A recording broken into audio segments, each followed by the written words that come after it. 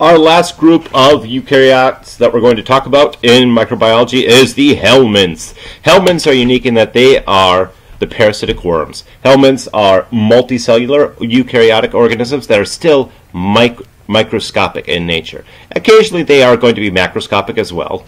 Helminths, um, when they are in adult specimens, are typically going to be large enough to see, be seen with the naked eye, but when they're, they're in their juvenile state, they are going to be microscopic in nature. Some flatworms and roundworms, some helminths are non-parasitic in nature, and some will be parasitic in nature. Our parasitic helminths are going to spend a very large portion of their time living in our GI or gastrointestinal tract. So let's talk about some helminths that you'll be commonly exposed to within a healthcare setting. We'll have flatworms, phylum Platyhelminthes, also referred to as nematodes. These will have long, narrow, thin, segmented body plans and will be divided into the category cestodes and nematodes, so the tapeworms and the flukes. We also have roundworms, phylum Aschelminthes. This phylum of helminth has very elongated, cylind- cylindrical, unsegmented body plans. So we can think of these, the roundworm category, as your traditional worm, and that it doesn't have that segmented body plan, whereas the flatworms will have segmented body plans.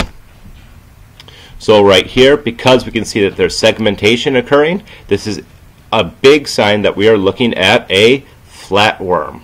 This is an adult stage of the flatworm, and as you can see, it's broken up into individual little segments. Each segment contains fertilized eggs, so as a segment breaks off, it's capable of repopulating another host.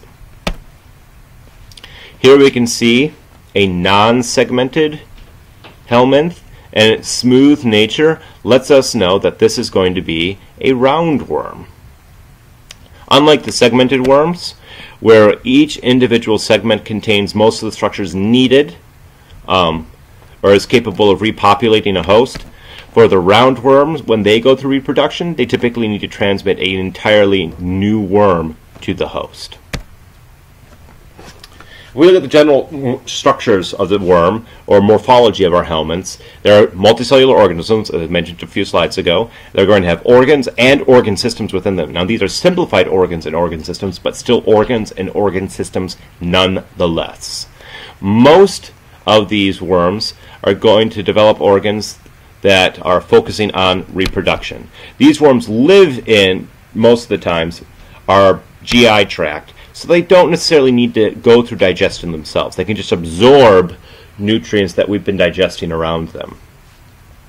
Since the primary function or primary goal of these worms is reproduction, um, there's going to be less emphasis on digestion, excretory, nervous, and muscular systems because they live in an environment that is ideal for absorbing nutrients and has an ideal temperature. All they need to focus on is reproducing. The life cycle of a helminth is fairly complicated. The complete cycle involves going from a fertilized egg to a larval stage to an adult stage. And depending on the species, there can be multiple hosts involved with this process. The adult helminthes drive their nutrients and reproduce sexually in the host body. If we look at a nematode, the cell, these organisms are going to have separate sexes and will be different in appearances. The trematodes um, can alternate between sexual and as, uh, um, will either have separate sexes or if there is only one gender available in a population, a trematode can switch genders. And then there's the cestodes, which generally speaking switch genders as needed for sexual reproduction.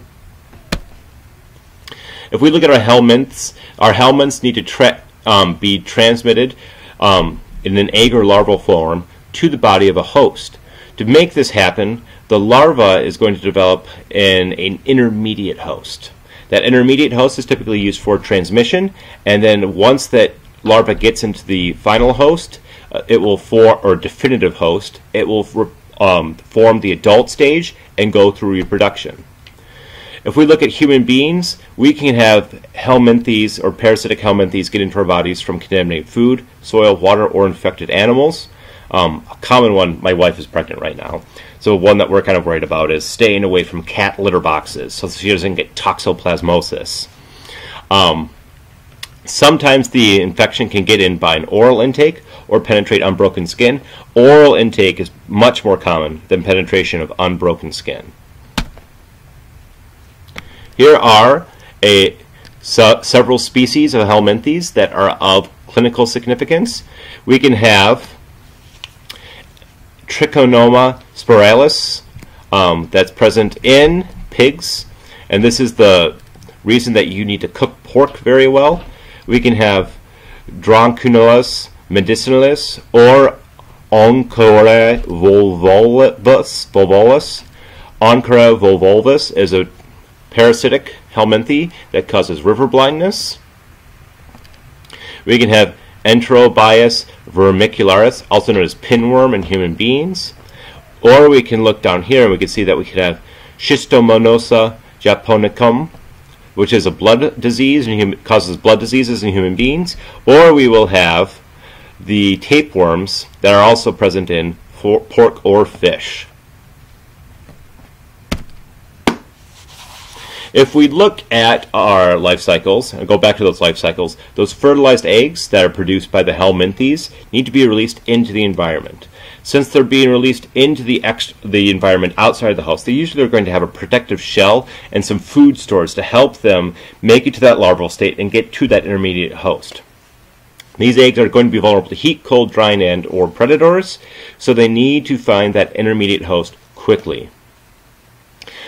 Certain species of helminthes can lay 200,000 to 25 million eggs a day. So obviously most of these eggs never make it. But if just 1% make it, that's still a very high success rate.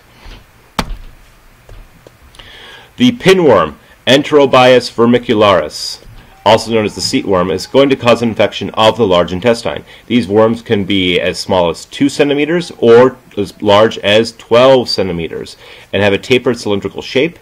A common shape, because usually it'll be young children that are infected with tape, the uh, pinworm.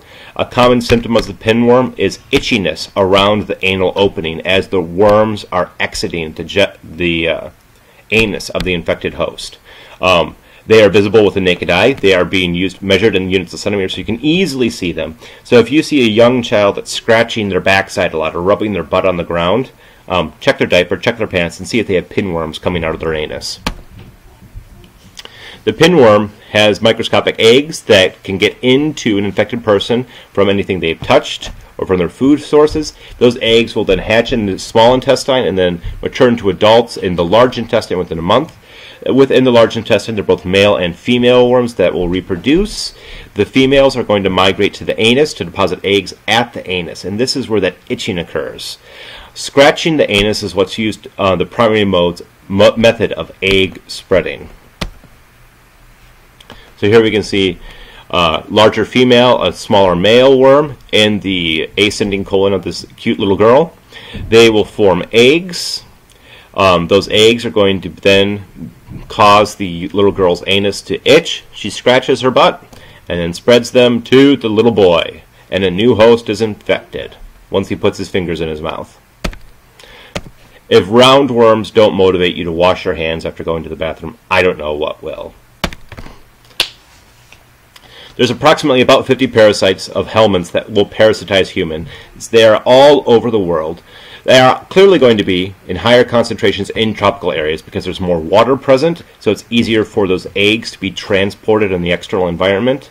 If we look at the number of cases that occur every year, it's estimated that billions of infections with helminthes occur every year, but most of these are in developing countries and are not properly diagnosed and confirmed. Conservative estimates of helminth infection rates in North America range on the 50 million range, so 50 million helminthy infections every year in just North America. So, concept check. Let's pause for a moment and see if you can find the answer. Adulthood and mating of helminths occurs where? In the larva, the intermediate host, the cyst, the definitive host, or the egg. If you don't know the answer, you can pause the video, re and go back to find the answer or flip back in your PowerPoint. One, two, three, four, five. Alright, hopefully you've looked up the answer at this point. The answer is D, the definitive host. That's all we have for our discussion on eukaryotic cells. If you have any questions, shoot me an email or post them to the discussion board. Happy studies!